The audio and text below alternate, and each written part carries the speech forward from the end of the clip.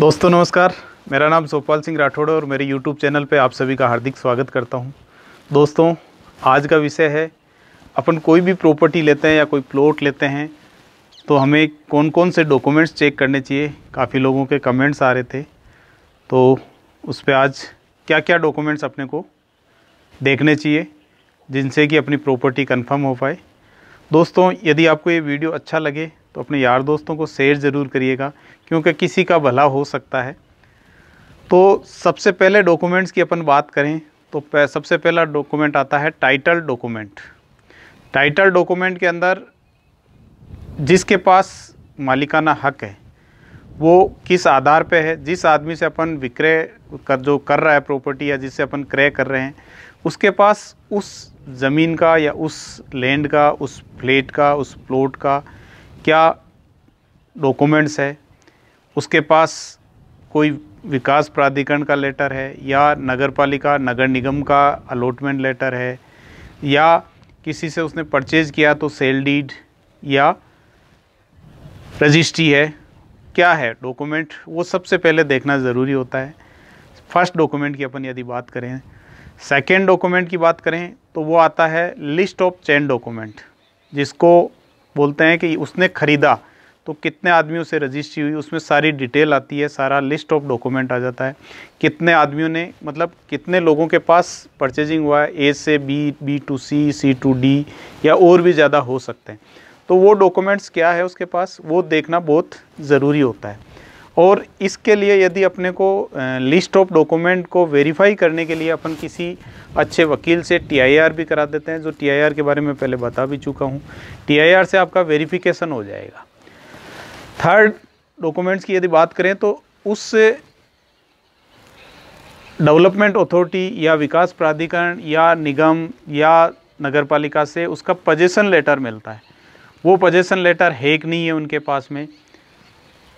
वो देखना बहुत ज़रूरी होता है। यदि पजेशन में नहीं है तो वो सेल करने का वैसे अधिकारी नहीं होता है। तो पजेशन हमेशा लेना बहुत ज़रूरी होता है, क्योंकि अपन जो प्रॉपर्टी परचेज़ करते हैं या जो भी प्लॉट फ्लेट विला मकान, जो भी अपन प्रॉपर्टी लैंड परचेज़ करते हैं, उसमें अपनी ज़िंदगी भर की गाड़ी कमाई है, वो जाती है। तो अपने को ये चीज़ देखने की ज़रूरत होती है। चौथे डॉक्यूमेंट्स की यदि बात करें तो अपने को देखना ज़रूरी होता है कि ये जो लैंड है या प्रॉपर्टी है प्लॉट है फ्लैट है वो मोर्गेज तो नहीं है, किसी बैंक के अधीन तो नहीं है, कोई लोन तो नहीं है, या किसी सेठ साहूकार से लेकर उसको डॉक्यूमेंट्स दे रखे हो उसको लिखवा रखे हो तो ओरिजिनल डॉक्यूमेंट्स मैं ये जो भी बता रहा हूँ, ये ओरिजिनल डॉक्यूमेंट अपन जब टोकन मनी दें या अपन जो एक साइनिंग अमाउंट देते हैं, साई देते हैं, उससे पहले ये सारे डॉक्यूमेंट्स अपने को देखने ज़रूरी होते हैं।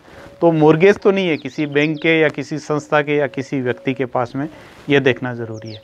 पाँचवें डॉक्यूमेंट्स के अंदर अपने को देखने की ज़रूरत होती है। यदि अपन कोई पुराना मकान ले रहे हैं तो उसमें पानी, बिजली के बिल कितने ड्यू है, कोई ज़्यादा बड़ा ड्यू तो नहीं है, वो देखना बहुत ज़रूरी होता है। कई बार अपन प्रॉपर्टी लेते हैं, उस टाइम बात पता नहीं करते हैं, बाद में बहुत बड़ा बिल अमाउंट आ जाता है, लाखों के अंदर कई बार। तो वो देखना सबसे ज़रूरी होता है।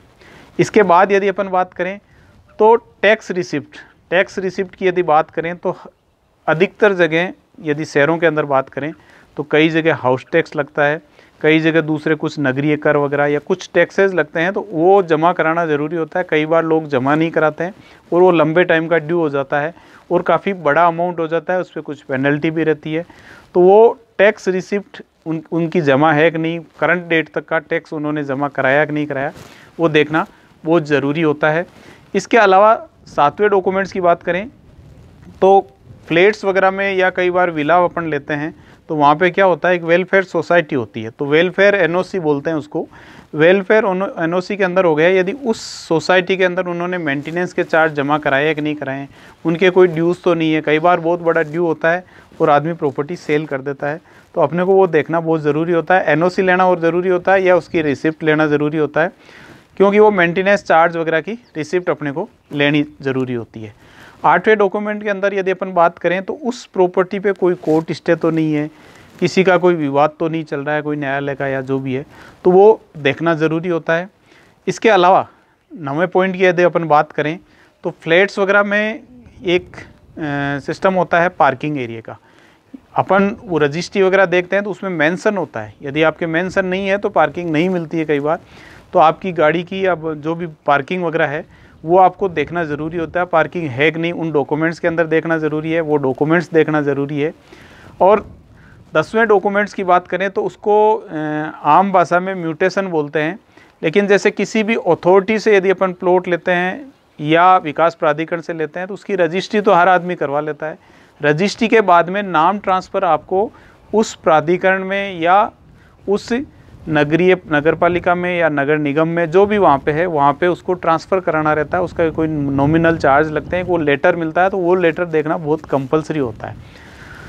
इसके अलावा लास्ट जो डॉक्यूमेंट है इलेवन ग्यारहवा नंबर का जो डॉक्यूमेंट है, वो है कन्वर्जन सर्टिफिकेट जो आप लैंड खरीद रहे हैं या जो आप प्लॉट्स खरीद रहे हैं, वो आवासीय में कन्वर्ट है कि नहीं है कहीं ग्रीन जोन की ज़मीन तो नहीं है, कहीं व्यवसायिक ज़मीन तो नहीं है। व्यवसायिक ज़मीन को कई बार आवासीय में सेल कर देते हैं। तो वो देखना बहुत ज़रूरी होता है। इस तरह से ये ग्यारह डॉक्यूमेंट्स हैं जो अपने को देखने बहुत ज़रूरी होते हैं। क्योंकि अपन जो लैंड ले रहे हैं या प्लॉट ले रहे हैं, उसके अंदर अपनी ज़िंदगी भर की गाड़ी कमाई का पैसा जाता है। यदि ये देख के अपन फाइनलाइज करते हैं तो अपने को कोई दिक्कत नहीं होती है। यह रह गया ज़्यादातर जो अपन रीसेल में या पुराना प्लॉट्स वगैरह या पुराने जो मक लैंड लेते हैं, उनके अंदर हो गया।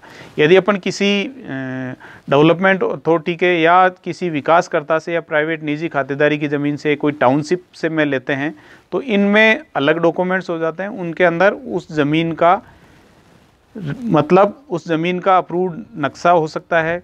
वो आप कुछ रेरा की वेबसाइट पे भी देख सकते हैं। तो वो सबसे उसमें ज़्यादा डॉक्यूमेंट्स की इनकी ज़रूरत नहीं होती है। ये ज़्यादातर आ गया रीसेल के अंदर अपन कोई प्लॉट या कोई ज़मीन या कोई दुकान, कोई व्यवसायिक जगह अपन ख़रीदते हैं तो उनमें इन चीज़ों डॉक्यूमेंट्स की देखने की बहुत ज़रूरी होती है। दोस्तों, आपने मेरा वीडियो देखा, इसके लिए आपका बहुत बहुत धन्यवाद। दोस्तों, घर पर रहें, आप स्वस्थ रहें, आप व्यस्त रहें और आप मस्त रहें।